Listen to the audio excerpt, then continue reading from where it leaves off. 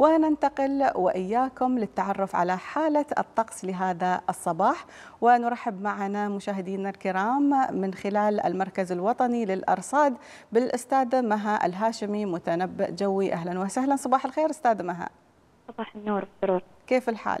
الحمد لله تمام. حياك الله. ممكن نتعرف ونعرف السادة المشاهدين على الطقس المتوقع لليوم والأيام المقبلة بإذن الله.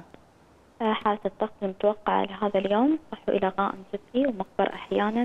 مع احتمال تكون بعض السحب الركامية قد يصاحبها سقوط أمطار شرقا بعد الظهر ورياح جنوبية شرقية إلى شمالية شرقية خفيفة إلى معتدلة السرعة ونشطة أحيانا مثيرة للغبار نهارا.